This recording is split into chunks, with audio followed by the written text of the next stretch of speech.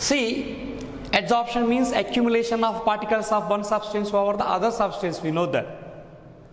When you take uh, this is adsorbent, this is the molecule in the bulk of adsorbent.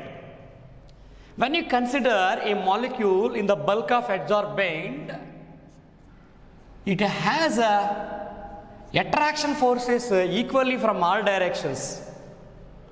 So here uh, net force of attraction is zero for the molecules in the bulk because it is uh, attracted equally by the neighboring molecules. But when you consider a molecule at the surface, the molecule of adsorbent at the surface, it has attractions only from the bulk, but uh, there are no attractions from outside. So here uh, net attractive forces is not zero. There are some residual forces. Net, net attraction force is not zero. That's why these all surface molecules, all surface molecules are under uh, unbalanced attractive forces. That's why they attract the surrounding molecules uh, towards them. So these uh, molecules at the surface attract surrounding molecules towards them. So that is the reason for the adsorption. Unbalanced residual forces of the surface molecules is the cause for the adsorption process. Now this adsorption process, what happens? When they adsorb the molecules of adsorbate, what happens? Surface energy decreases. No, some attractions. When there is attraction force, that means uh, when a bond is formed, uh, there is some release in energy. So because of these uh, attracting forces, it releases some energy. That's why surface energy decreases. That decrease in surface energy appears as heat. That's why enthalpy of adsorption, enthalpy of adsorption is uh, negative. Enthalpy of adsorption means it is the amount of heat released when uh, one mole adsorbate is adsorbed. Understood? What is adsorption? Enthalpy of adsorption? It is the amount of heat uh, released when uh, one mole gas or uh, adsorbate is adsorbed on the surface of adsorbent. It is negative. Negative means exothermic process. So adsorption is an exothermic process. Let's see the thermodynamics of adsorption. What about delta S? Delta H we know, negative. What about delta S? See, these adsorbate molecules are initially very free to move. That means there is more disorder. Adsorbate molecules before adsorption have more disorder.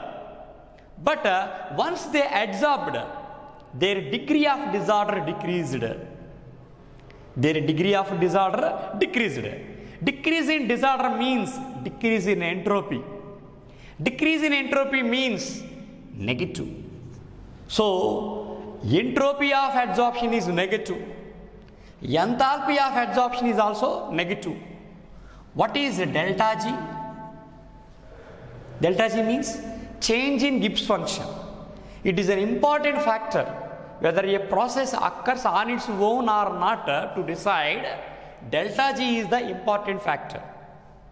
Either the, by delta H itself or by delta S itself we can't decide whether a process is spontaneous or non-spontaneous. Spontaneous means if, if a process occurs on its own it is spontaneous. Non-spontaneous means if a process does not occur on its own, it occurs only in the presence of some external agency that is said to be spontaneous. Now, it was found that delta G is negative for this adsorption process. Delta G is negative for this adsorption process. So, as a whole, what are the thermodynamic parameters for adsorption? delta H negative, delta S negative, delta G negative. Then what is the effect of temperature? Is adsorption spontaneous at all temperatures or only at certain temperatures? For that, let us use a mathematical relation among the three terms. We have delta G is equal to delta H minus T delta S. Okay, let uh, delta H be some x. Already it is negative sign, that's why it is some minus x. Let delta S be some y, that means minus y. Now the value is minus x plus ty. What is x? It is enthalpy of adsorption. What is y? Entropy of adsorption, entropy change due to adsorption. Now, whether the sign gives are negative or positive decided by which factor? But already I said that delta G negative. To get a negative value, y should be more or less than x. Check it once.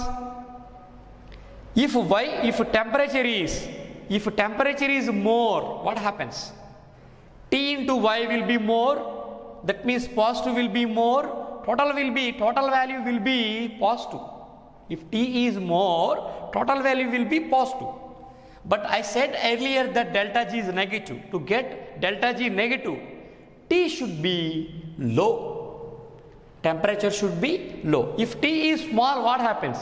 A small value into Y gives small value. This is already a large value. So, a large negative value plus a small positive value gives what? Negative value. So, what I am saying finally is adsorption process is spontaneous at uh, low temperatures. What is that? Adsorption process is spontaneous at low temperature.